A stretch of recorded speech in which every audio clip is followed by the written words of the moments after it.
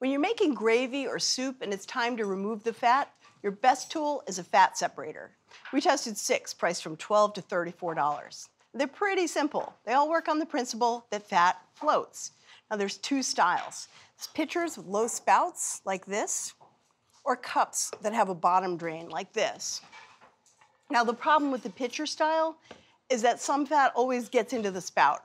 And then after you pour out most of what you want, you have to leave some stock behind or you'll let even more fat get in. But bottom drainers don't have this problem. You push the lever to make it go, and when you release it, it cuts off instantly. You want a nice wide opening so you have a bigger target when pouring. You know, something like this is pretty small. And you want some tall sides on it so it catches splashes. And you want small holes to catch solids, but lots of them to let liquid drain fast. You want easy to grab handles. And you want it to hold a lot. While every model we tested said it held four cups, that was a lie.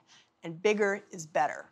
Now our winner, which is the Cuisipro Fat Separator, consistently yielded the most stock with the least fat, and it was easy to use. And since the canister just pops off, it's also easy to clean.